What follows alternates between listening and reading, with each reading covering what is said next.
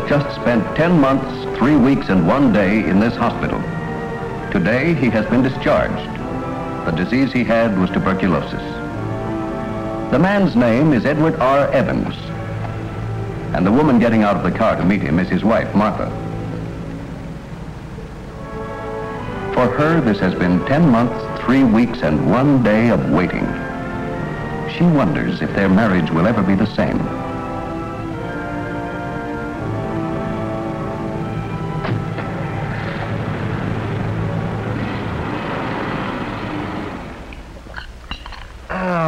This is the best meal I've had in months. Martha, when it comes to pot roast, you are a genius. Glad you enjoyed it, Ed.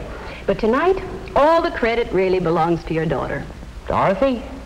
Why, last I remember, you wouldn't even set foot inside the kitchen. Hated to boil eggs. That was before I took home economics in school. You won't believe it, but I like to cook now. Will miracles never end?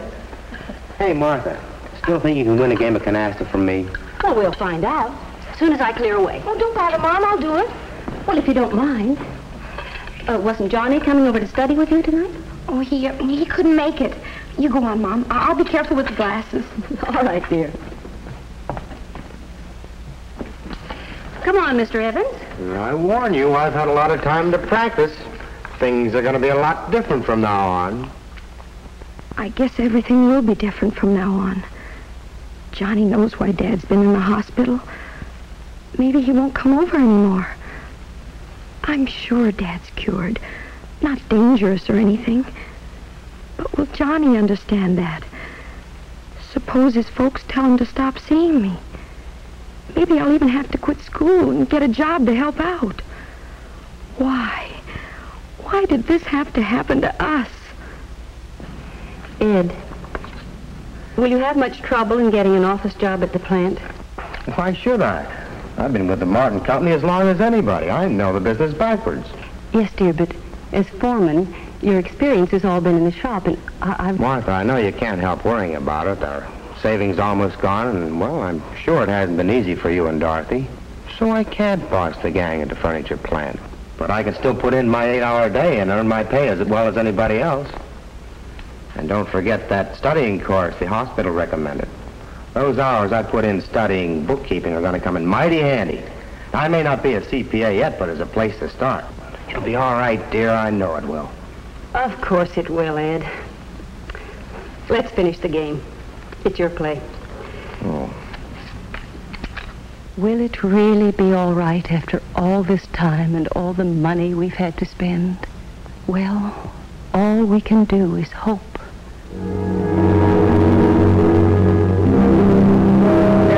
Course, we're delighted to see you back on your feet again. The TB people said you'd be released soon. They tell me I'm as good as new. Oh, that's fine, fine.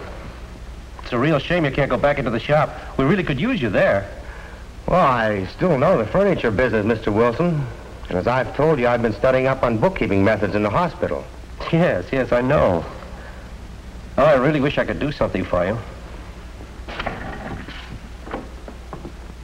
What do you do in a case like this? I could find a job for him, sure. Well, then it's on my shoulders if anything goes wrong. Suppose he gets sick again. Suppose his TB is still contagious. And some of the other men get it. Oh, I can't be responsible for him. The trouble is, Ed, we're overloaded on our office staff now, and I'd have to let somebody else go to, to fit you in, you see? I understand. I'm sorry, Ed. Perhaps later if there's an opening. Well, thank you very much, Mr. Wilson. If you want references or anything like that, I'll be glad to give them to you any time. It's very kind of you. Thanks a lot. Good luck.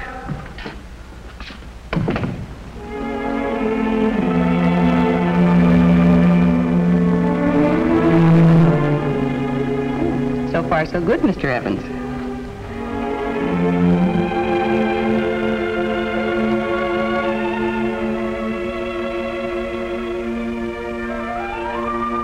Think that gives me a pretty complete picture of your employment background.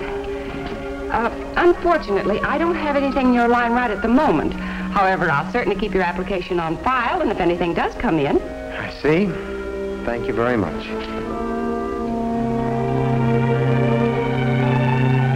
What's the use? I fill them out and they file them. Thank you, Mr. Evans. We'll call you if something comes up. If something doesn't come up soon, Martha, I don't know what we're going to do. I wish I knew what to tell you, Ed. But you've just got to keep trying. Yeah. Well, maybe this will be the lucky one. We've been doing business with the Martin Furniture Company for a good many years. Anybody with them as long as you were comes pretty highly recommended. Glad to hear it, sir. Besides, I appreciate what you're up against, learning something new, starting all over again. Had to do it myself about 15 years ago.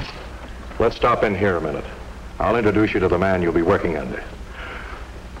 Oh, by the way, I don't see any real reason for telling any of the boys in here what you've been doing the last year, do you? No, not if you don't, Mr. Verity. Good. Bill, meet Ed Evans. Ed, this is Bill Keating. How do you do? Hello? He's in charge of the department, and you'll be working directly under him. Oh, nice to meet you, Mr. Evans. Same here. Say, don't I know you from somewhere? Ed Evans. Why, sure. You used to belong to our Legion post. Of course, I remember you, too. You, uh, led the drill team one year. That's right. Say, I haven't seen you around for a while. Must be almost a year. Have you been out of town? Bill, you can introduce Ed to the rest of the boys a little later. Right now, I want to take him around and show him the rest of our place. Fine, Mr. Verity. See you later, Evans. All right.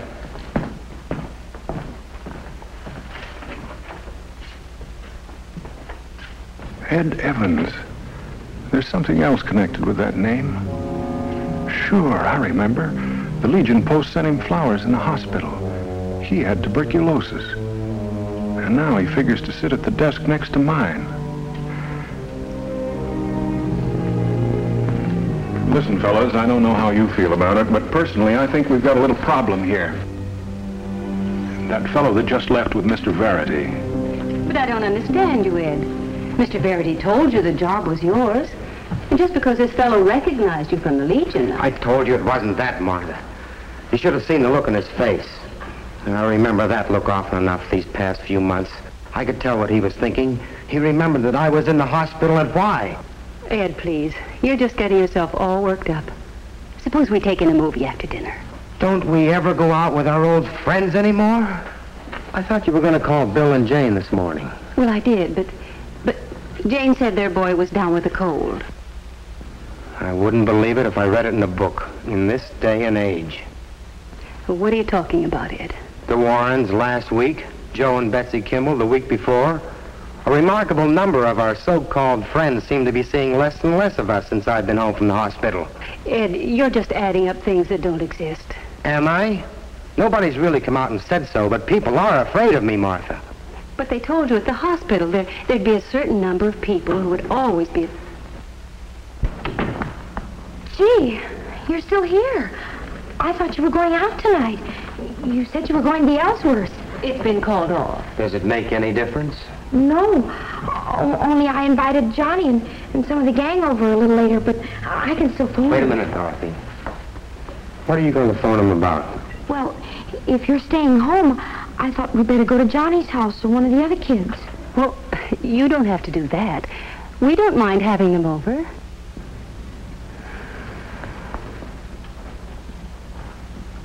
How can I tell them that I don't want to ask the gang over?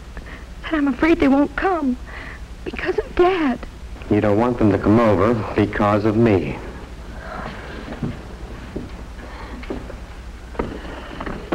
Dorothy, I can remember when your friends used to swarm all over this house. They're older, Dad. Not the same ones you remember. Well, this Johnny I keep hearing about, I've never met him yet. Dorothy, are you afraid that you might get sick, might catch tuberculosis because of me? No, Then you know that I wouldn't have been released if there was the slightest chance. I know it, but some of my friends don't. Then why don't you tell them? I tried to at first. But we got into an argument, and I was afraid they wouldn't believe me anyway. After that, I made up my mind to avoid the whole subject. And as long as they didn't come over while you were here, well, I didn't know what else to do. Yeah, I understand. Believe me, I do, and I'm sorry I haven't tried to help you in your problems before. But you see now that avoiding the subject is really no answer at all, don't you?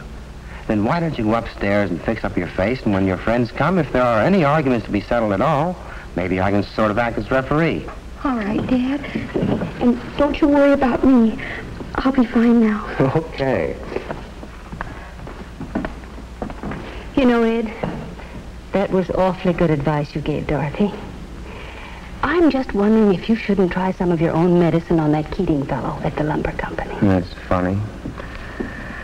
I was just thinking the same thing. And that's about all I can say. I'm completely cured. As a matter of fact, I'm really safer to be near than you are. Because I have to keep going back to the hospital for my regular checkups. There's absolutely no danger of infection. My doctor has told Mr. Verity that. Except for the fact that I need more rest than most people, I'm no different than any of you.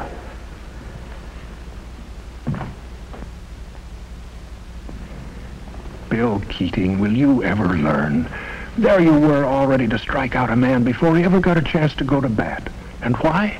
Because you didn't stop to think. You listened to rumors and jumped to conclusions. That's why. Evans, I think I owe you an apology. I didn't have all the facts straight, but I do now. And as far as I'm concerned, I'll see that you get every break possible. Well, I'm not asking for any special breaks, just a fair chance, that's all. And Ed Evans got his fair chance and made the most of it. Despite the handicap of his late start in the accounting business, Ed makes good at his job and becomes well liked by his fellow employees and his employer. The Evans home once more becomes a popular meeting place for all of Dorothy's young friends, and Johnny in particular. Dorothy's fears that she might have to leave school and help support the family have been dispelled, and things seem to be working out well on all fronts. Through his new acquaintances, Ed's friendships soon begin to multiply.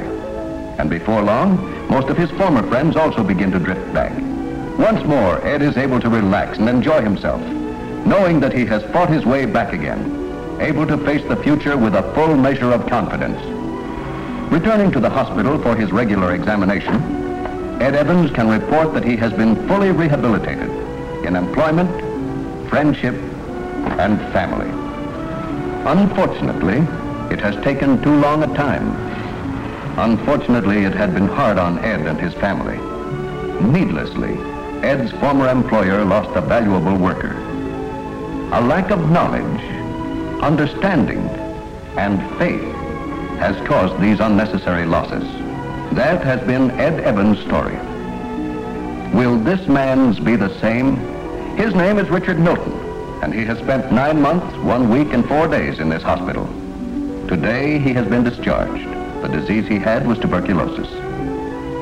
The decision as to what happens to his future, whether he will be received back into an active, full, and worthwhile life by his family, his friends, and his employer, or whether he will be shunned and will have to fight his way back step by step, is something that only one person can say, and that person is you.